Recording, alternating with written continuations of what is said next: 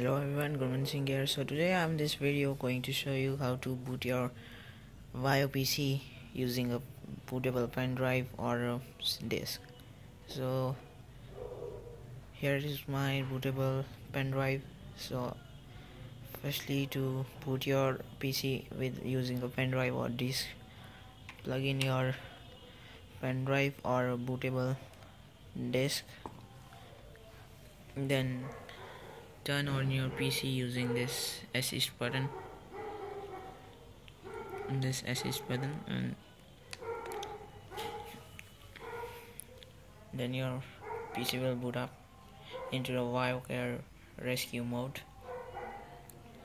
Then you will get these options here. Then you need to select this start from media USB device or optical optical disc. So press F11 then your PC will restart again and see your then uh, click the option you want to install. I will do Windows 10 setup 64 bit